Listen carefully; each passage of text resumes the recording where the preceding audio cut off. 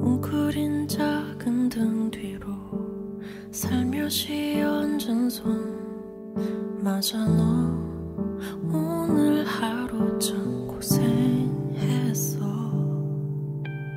무거워진 마음 내게 조금 나눠줄래? 헝클어진 모습도 괜찮아.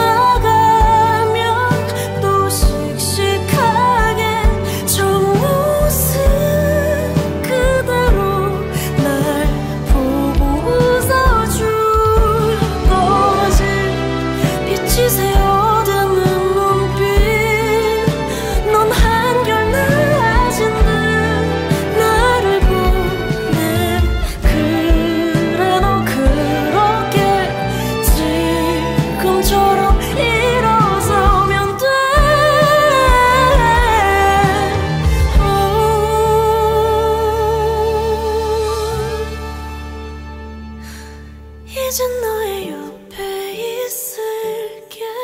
너의 손 잡아줄게.